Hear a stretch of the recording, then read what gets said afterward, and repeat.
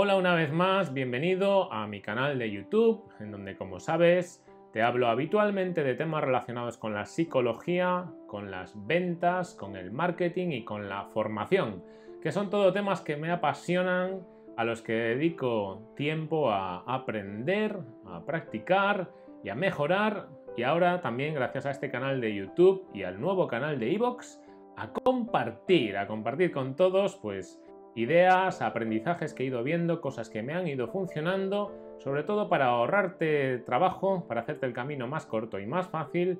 Si quieres tomar alguno de estos aprendizajes, copiarlo o imitarlo, pues mira, es bienvenido y ojalá que te dé muchísimos frutos. Hoy voy a hablarte de un tema muy interesante si tienes consulta, como yo, por ejemplo, de psicólogo o psicóloga, o quizás te sirvan también estas ideas que voy a compartir para cualquier otra profesión sanitaria. Quizás tengas una consulta de medicina privada, de enfermería, quizás fisioterapia, podología, una, bueno, cualquier tipo de, profesión en donde tengas pacientes y quieras eh, conservar esos pacientes durante más tiempo o que te sean más fieles. Es decir, que cuando necesiten a alguien de tu profesión se decanten más por ti. Para eso, en este vídeo te voy a hablar de 15 ideas para fidelizar a tus pacientes. Espero que todas ellas te sean de gran utilidad.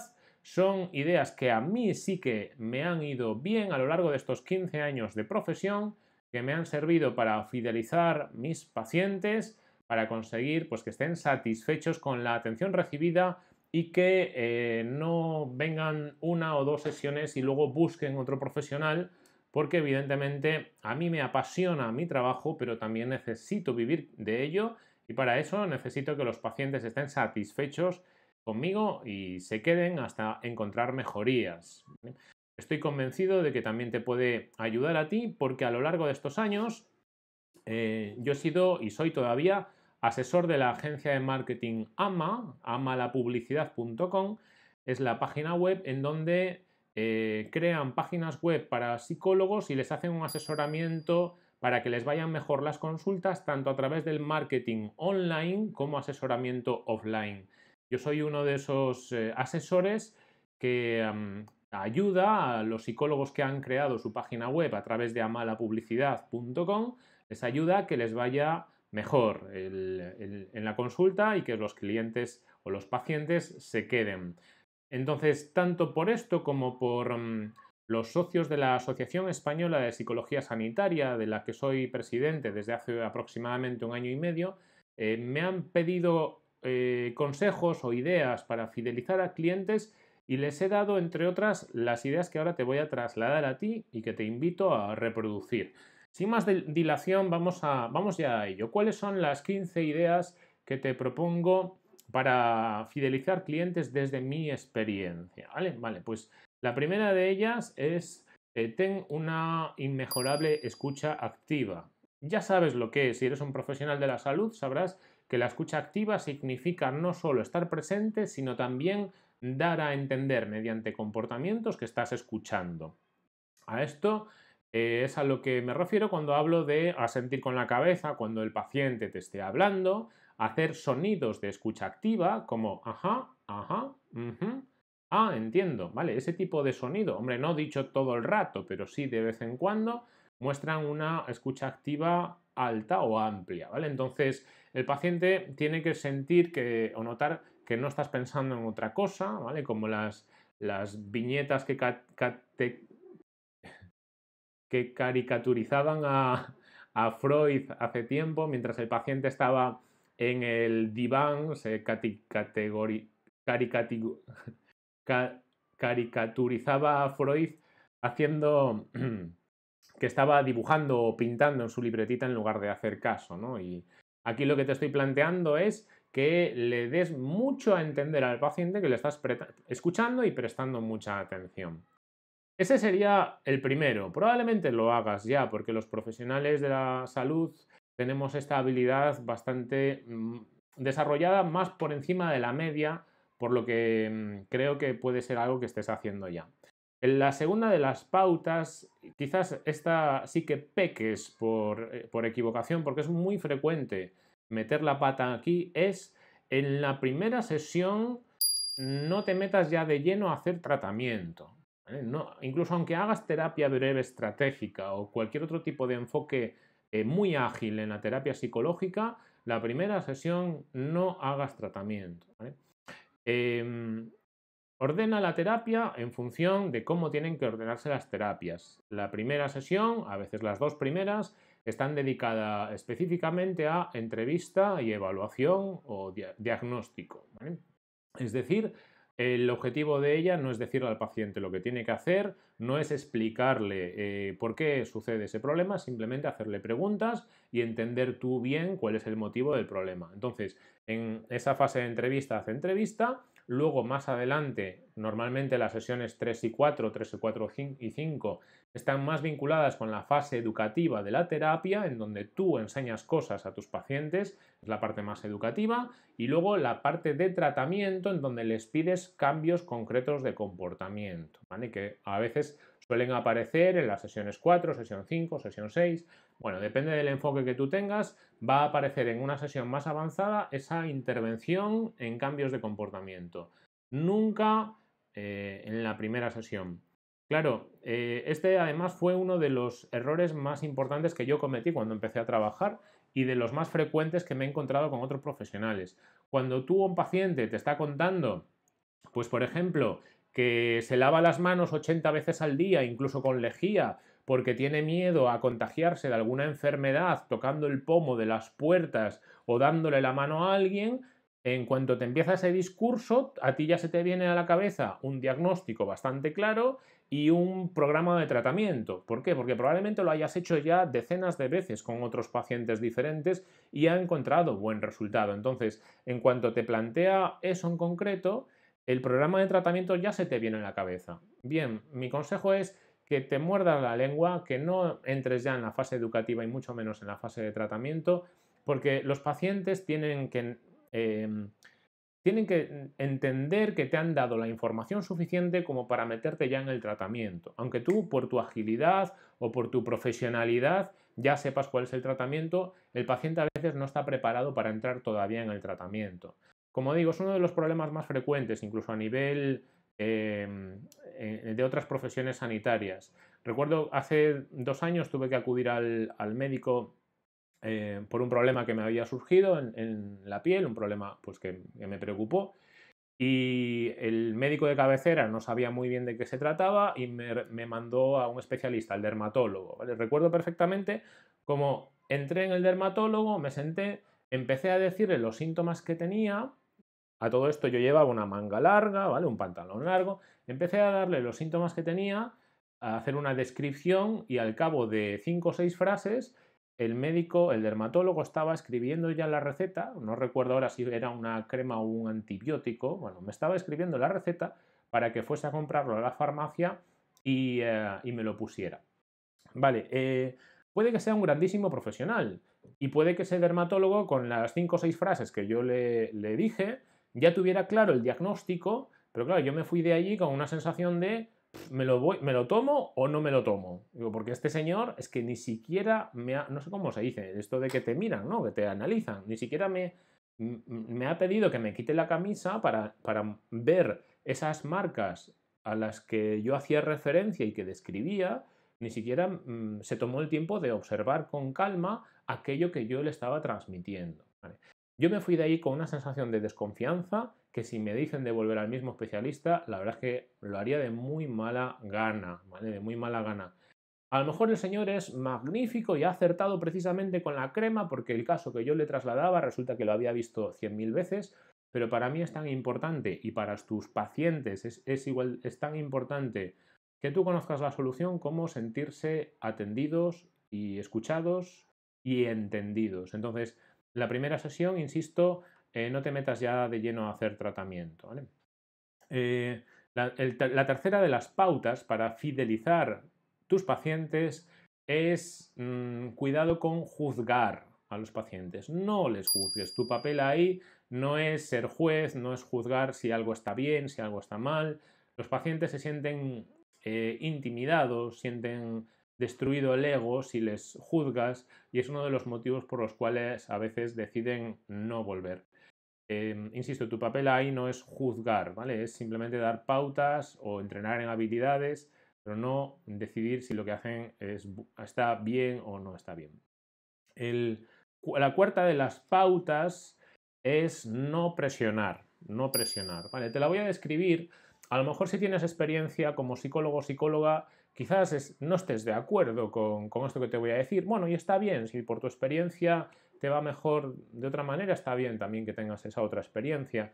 Al igual que el punto que te acabo de decir de no juzgar, puede que tu experiencia o tu opinión sean diferentes y está bien. Yo, en cuanto a este punto 4, no presionar, mm, insisto en que creo que es algo que necesitamos em, meternos mucho en la cabeza los psicólogos. No presionar significa tú como profesional tienes claro qué es el problema que tiene tu paciente o cuál es, una fobia, un TOC, una depresión, y cuáles son las pautas terapéuticas que van bien. Y además sabes que van bien eh, tanto por tu experiencia en consulta como por eh, todos los estudios e investigaciones que has visto al respecto, como con otros colegas profesionales que te han dicho que esa técnica funciona bien y a un ritmo determinado. Pero, a ver, cada persona y cada paciente es un mundo y tienen sus tiempos y tienen sus necesidades y lo que viene en los libros marcado como que la eyaculación precoz se trata en 12 sesiones, pues a lo mejor a tu paciente le hacen falta 32 sesiones.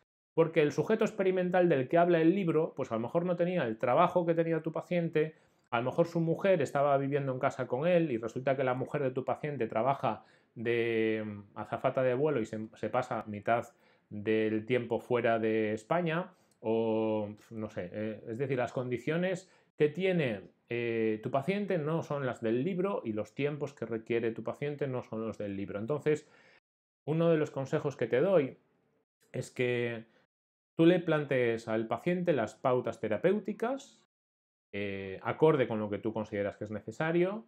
Si ese paciente no te las cumple, bueno, es lógico y está bien que le digas era necesario que las cumplieses, pero que no seas riguroso, que porque el paciente a veces se siente presionado, se siente entre la espada y la pared, en plan, tienes que hacer esto, y se siente, por lo tanto, incomprendido con respecto a sus necesidades. Em, muchas veces, además, lo que le planteas es enfrentarse a miedos que tiene tu paciente, y eh, no siempre es fácil para el paciente enfrentarse a una etapa determinada. A veces les cuesta un poco más.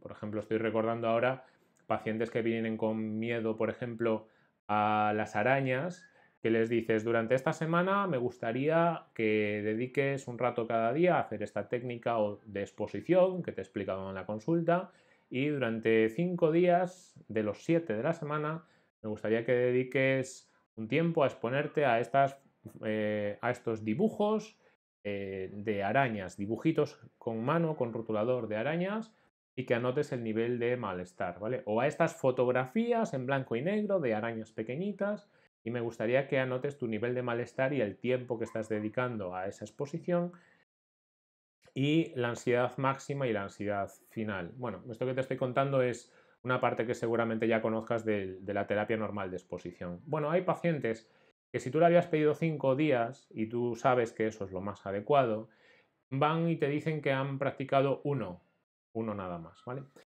Bueno, ahí tu función sería recordarles que es importante la frecuencia, que cuanto más frecuencia o más adecue la frecuencia a, tus a, lo que le has dicho, mejor va a ser la, evolución, pero también darles un margen de respeto hacia sus tiempos, hacia, hacia, hacia, los tiempos que, necesitan dedicar. En definitiva, comprender mejor a tu paciente. Em, es importante esta, esta pauta para mantener a tu paciente fiel. Si le presionas a un ritmo mucho más rápido del que está eh, preparado para llevar, mm, es fácil que pierdas esa fidelidad, deje de venir y cuando quiera buscar otro psicólogo, en lugar de volver a ti porque le va a dar cierta vergüenza, busque otro profesional diferente. Entonces, busca no, no presionar demasiado a tus pacientes. El quinto de los elementos relacionado con la fidelización, pues es el precio de las sesiones. Bueno, es un tema que está ahí, que es importante, ¿vale? Es, es verdad que mm, eh, seguramente estés de acuerdo conmigo, las consultas de psicología pueden tener un precio alto, pero no son caras. Algo caro es aquello que pagas por ello, sufriendo ese, ese, precio y ves que no tiene una contraprestación eh, equivalente. Es decir, dices, Buah, he pagado un pastón y no he obtenido el beneficio que, era normal recibir. Yo creo que, sobre todo después de estos 15 años de, consulta, de verdad hay pacientes que venían a consulta sin vida. Un paciente, por ejemplo, con trastorno obsesivo compulsivo que dedique 6 horas al día, todos los días, a limpiar su casa por su obsesión, es un paciente que no tiene calidad de vida en absoluto. Si después de, o durante la terapia y después se libera de esa obsesión, de ese trastorno obsesivo compulsivo y ya no dedicas a seis horas, realmente eh, la, consulta le ha merecido muchísimo la pena porque a partir de ese momento tiene vida, a partir de ese momento tiene una vida de la que disfrutar. Entonces, pagar un precio por algo que implica salud, como son las consultas de psicología, hay que entender que el precio de verdad merece la pena. Y yo cada vez que un paciente me dice, buf, es que es bastante es bastante dinero. Yo siempre les respondo, mm, de verdad, por todos los pacientes que he tenido, va a merecer la pena porque vas a mejorar muchísimo en calidad de vida y al final la salud es lo más importante e invertir en salud es una prioridad para todo el mundo. Y, cuando tienes un paciente y le vas a dar el, alta, eh, todo el mundo te dice lo mismo, pues que ha supuesto una inversión económica pero que han merecido la pena porque han ganado mucho en calidad de vida, insisto, que es lo importante. Bueno, a pesar de eso, el precio de las sesiones es un elemento vinculado con la fidelidad del, paciente. No porque quiera, sino porque además a veces no tiene otro remedio. Hay pacientes que por sus ingresos habituales no se pueden permitir acudir a la consulta con una frecuencia determinada, entonces unos precios más elevados de la consulta van a hacer que vayan a una sesión, a lo mejor luego van a otra sesión y luego dejan de acudir porque ven que les está resultando un coste, una inversión muy elevada.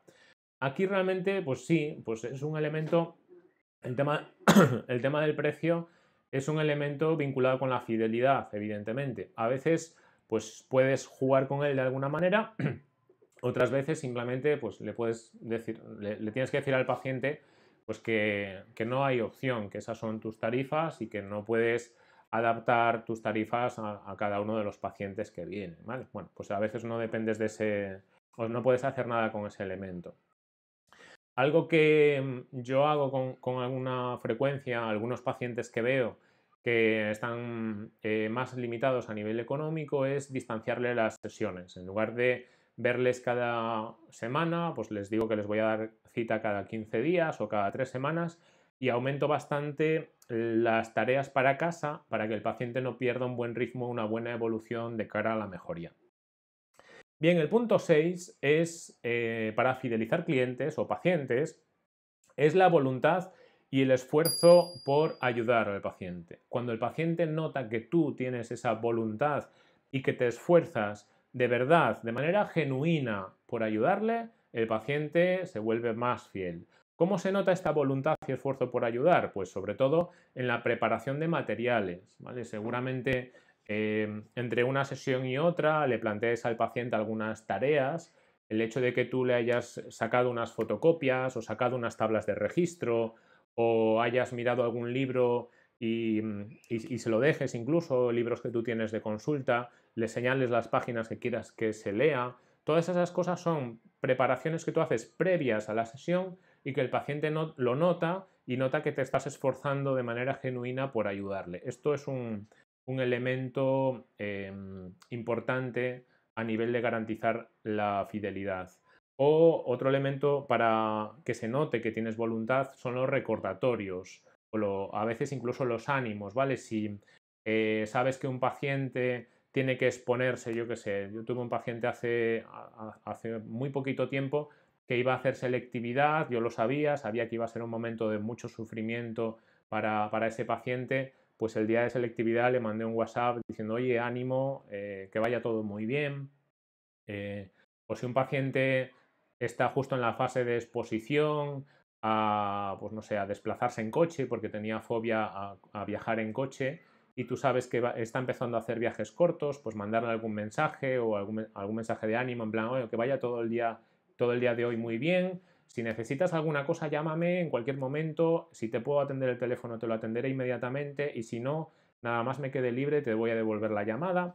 Esos son elementos de, de recordatorios o de ánimos que muestran todos una voluntad y un esfuerzo por ayudar, que era el punto 6. El punto 7 es el tacto. El punto 7 para contribuir a la fidelidad de tus, pacientes es el tacto. Eh, el tacto me refiero a que pienses un poco, por ejemplo, cómo se siente el paciente cuando coincide con otros pacientes en la sala de espera. Em, aquí yo lo, lo, que hago es plantearme eso, si puede resultar incómodo para él, si no, al fin y al cabo todavía hay cierto tabú en algunas personas, les incomoda, no es lo mismo estar en la sala de espera de un dentista con otra persona al lado que estar en la sala, en la sala de espera de un psicólogo con otra persona al lado. Todavía hay ciertas vergüenzas, cada vez menos, también es verdad. ¿eh? Cuando yo empecé a trabajar hace 15 años, eh, las personas contestaban el teléfono en, consulta y decían, oye, ¿me puedes, ¿me puedes llamar dentro de un ratito que estoy en el dentista? Y yo pensando, que estás en el dentista, pero ¿qué dices? Estás en el psicólogo. Lo que pasa es que entendía pues, que les diera cierto reparo el decir eso, el ocultarlo. Bueno, hoy todavía quedan ciertos resquicios de esas pequeñas vergüenzas o incomodidades. Entonces el tacto, que es la pauta 7, mm, viene a significar, pues si puedes hacer que no coincidan en la sala de espera em, personas que no se conocen o, bueno, mucho peor si se conocen y no saben que los dos vienen a consulta, ¿no? Pues mejor el tener ese tacto, ¿vale? Para eso yo lo que hago personalmente es citar a mis pacientes cada hora y media. Yo tengo consultas de una hora pero en lugar mm, de, citar al paciente, pues a un paciente que tengo a las 4, el siguiente en lugar de citarlo a las 5, lo cito a las 5 y media. Porque yo sé que si se me extiende un poquito la sesión, se va a extender hasta las 5 y cuarto y todavía tengo un margen de 15 minutos para que no coincidan en la sala de espera y ese margen me permite a mí hacer el registro de la historia clínica o historia sanitaria anotando lo que me ha comentado el paciente que sea relevante, que me va a servir como vamos a ver dentro de un ratito. ¿vale? Eso sería el punto 7. El punto 8 es la imagen del despacho o la comodidad o incomodidad. ¿vale? Yo no sé hasta qué punto tú estás cuidando de verdad con esmero la imagen que tiene tu despacho en cuanto a la comodidad de las butacas, de la sala de espera, la iluminación, la música, la decoración de las paredes, los colores que has utilizado. No sé, hay un entorno Em, que puede ser muy propicio para estar cómodos y hay otros tipos de entorno a nivel de despacho, a nivel de entorno profesional, que no son en absoluto elegantes o propicios para una consulta de psicología.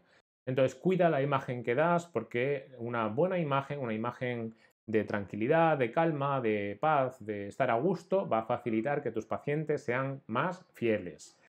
El punto 9 es la adaptación de horarios. Si tú quieres que tus clientes sean más fieles, cuantos menos pretextos tengas para poder cogerles, mejor. Eso implica que, por ejemplo, en mi despacho, eh, a veces damos sesiones a las 9 de la mañana, a veces a las 11, a veces a las 2 del mediodía o a las 3, a veces a las 8 de la tarde. Bueno, tener una amplitud de horarios facilita que el cliente pues que trabaja o que solo puede a mediodía o que tiene niños pequeños, pues pueda encontrar huecos en su agenda para acudir a la consulta. Entonces, bueno, es un consejo que te doy, este consejo 9, si quieres mejorar la fidelidad, no poner muchas pegas o pretextos. El punto 10 es recordar las historias clínicas de los pacientes, recordar las historias, las anécdotas, el punto de la terapia en el que están, las pautas terapéuticas que, les has, que le has dado, eh, y para eso yo lo que hago es, eh, lógicamente, anotarlo en el historial clínico, ¿vale? Pues entre una sesión y otra dedico un ratito a poner, pues el paciente ha mejorado en esto, le, ha tenido ciertas complicaciones en esto otro, está evolucionando aquí, le falta por hacer este tipo de tareas y le he planteado como tareas para casa que haga exactamente esto. Entonces, el hecho de recordar la historia clínica concreta eh, hace que cuando el paciente vuelva, tú utilices antes de que entre por la puerta un ratito para leer lo que ha pasado en la sesión anterior y eso fortalece mucho la fidelidad, porque el cliente siente que te estás trabajando con esmero su caso. Una cosa súper importante en este punto de las historias clínicas. La inmensa mayor parte de los centros sanitarios o de las consultas de psicología de España no cumplen adecuadamente con la legalidad en cuanto a historiales clínicos. Y aquí no me refiero solo a la ley de protección de datos que ya habrás escuchado, sino que hay muchos criterios concretos y específicos que si tú tienes un centro sanitario tienes que cumplir. ¿eh? Hace tiempo elaboré un curso de historiales clínicos que te pone esos criterios cuáles son y cómo se cumplen. Es importantísimo que si no tienes un conocimiento profundo, te formes en cursos como ese. Te voy a dejar el enlace en, los comentarios del canal de YouTube, de este canal de YouTube, para que puedas acceder directamente a, ese, a ese curso de historiales clínicos, porque estamos hablando de que si tienes una inspección de un, de un inspector sanitario, podrías estar entrando en sanciones o multas de más de 600.000 euros. ¿vale? Por lo tanto, es imprescindible que cumplas la legalidad vigente con respecto a esto. Estábamos hablando entonces de los historiales clínicos y te decía la importancia de recordar el historial clínico, ya no solo de una sesión leyendo la sesión anterior, sino que si es un paciente que lleva un tiempo contigo, quizás varios meses, a veces incluso hay pacientes que vienen un año, luego dejan de venir unos meses y luego vienen por otro motivo diferente al cabo de un tiempo, es fundamental y muy interesante que em, revises el historial clínico de varios meses antes o incluso de años antes para tener una visión general y esto a los pacientes por lógica les gusta mucho también, que tú tengas una idea completa no solo del momento puntual sino también de todo el histórico. Entonces el leerte ese histórico de manera rápida con algunos pacientes te va a ayudar muchísimo. El punto 11 eh, para mejorar la fidelidad de los clientes es eh, pedirle las tareas. Algo que parece tan de cajón. Yo he visto algún paciente que venía de otros psicólogos y que me decía, es que el otro psicólogo en el que estaba me mandaba tareas, pero luego no me las pedía. Es como si en el cole te, mandaban, a mí me pasaba, me mandaban deberes y luego al cabo de, de cuatro o cinco días, cuando tocaba de nuevo la clase, no me los pedían. Pues te baja la moral un montón, ¿no? Dices, a ver, ¿para qué me voy a esforzar para hacer esto si luego no me los van a pedir? me acuerdo incluso que cuando yo estaba, ¿qué sería? En séptimo de GB o algo así, que nos habían pedido, nos habían pedido que en vacaciones de verano que hiciéramos un diario. Nos explicaban lo que era un diario, yo no lo sabía, y nos decía, pues quiero que hagáis un diario en, verano, ¿vale? Atendiendo a la explicación que nos habían dado de que era un diario, pues que, que, hiciéramos un diario en verano. Yo me pasé todos los días de ese, de ese verano escribiendo por las noches. Hoy desayuné a las 8 y cuarto, a las 9 eh, bajé un rato, a las 9 y 10 era un sacrificio impresionante. Eh, claro, yo no notaba lo que se debería notar, que son las cosas más importantes. A lo mejor un día no te pasa nada importante, pues no lo escribes. Yo anotaba todo lo que hacía todos los días. A nivel de agenda, pero, ¿cómo se dice? Retrógrada. Bueno, el hecho es que cuando llegué a octavo, en octavo de GB, los profesores habían cambiado, no tenía ya la misma profesora que nos había pedido que hiciéramos el diario, por lo tanto yo ese diario no se lo pude presentar nunca a nadie, nunca. Y cuando digo, pero vamos a ver, me he pasado todo el verano escribiendo lo que he hecho cada día para nada, para que me lo tenga que comer con patatas, una situación súper frustrante. Bueno, a otros niveles, cuando tú pides a un paciente que haga unas tareas al final de una sesión, en la siguiente sesión te tienes que acordar de cuáles han sido esas tareas que le has pedido y pedírselas o preguntarle por ellas. ¿eh? Importante. Eso va a facilitar que el paciente sea más fiel y no se frustre. ¿eh?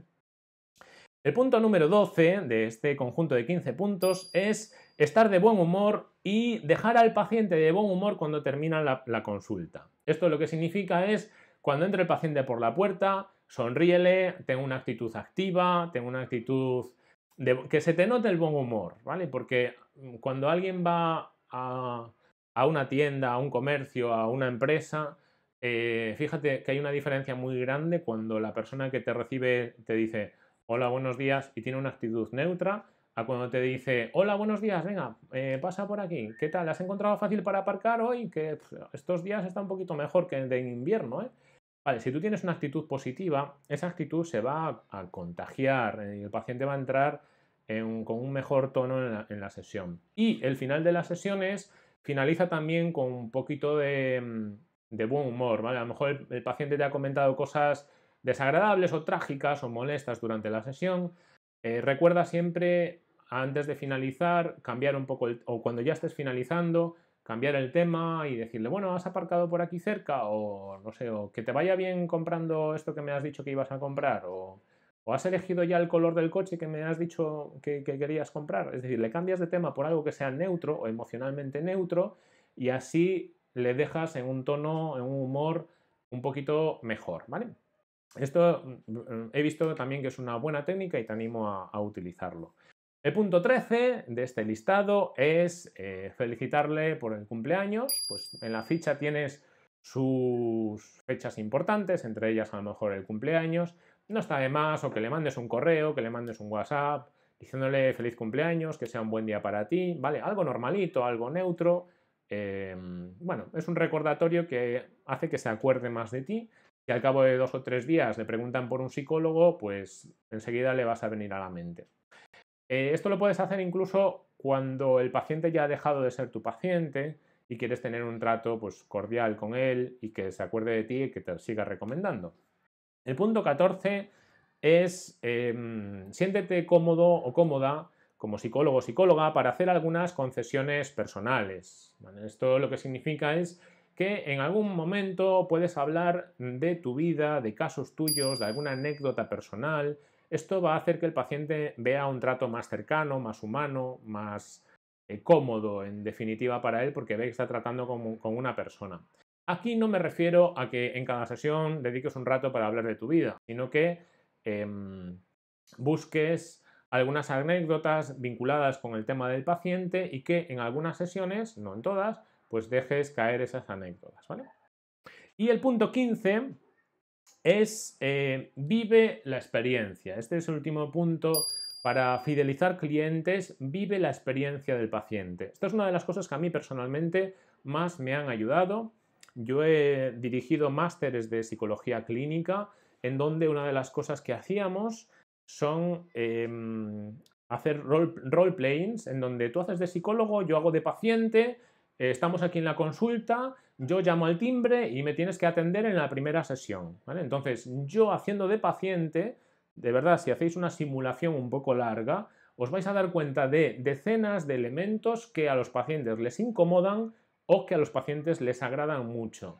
Mi consejo es que paséis por esta experiencia simulada unas cuantas veces para quedaros con esos elementos. Cuando los tengáis van a ser muy personalizados de tu caso, de tu consulta, y desde luego al aplicarlo vas a conseguir lo que buscas, que es fidelizar a los clientes gracias a darles esos elementos que les agradan y a quitar del protocolo aquellos elementos que mm, no son demasiado positivos o agradables desde tu experiencia como paciente simulado.